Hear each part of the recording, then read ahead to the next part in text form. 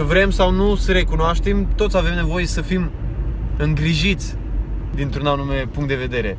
Și uh, această nevoie de a fi îngrijiți și de a avea o persoană care are grijă de noi uh, din toate punctele de vedere uh, este împlinită pe toate palierele existenței noastre.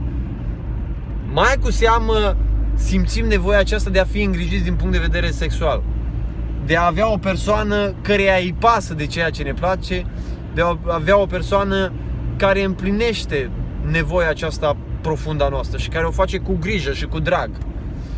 Pierd satisfacția asta absolut total în pornografie, pentru că nu este o persoană cu care să poți dialoga, o persoană cu care să poți împărtăși nevoile tale, dorințele tale, ideile tale și așa mai departe.